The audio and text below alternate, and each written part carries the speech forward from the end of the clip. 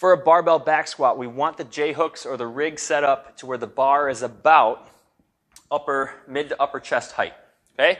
I'm going to grab just outside my shoulder width uh, on the bar itself. I'm going to pull myself underneath the bar, racking that bar on my back wherever it feels comfortable. And in this position, I'm retracting my shoulder blades nice and tight.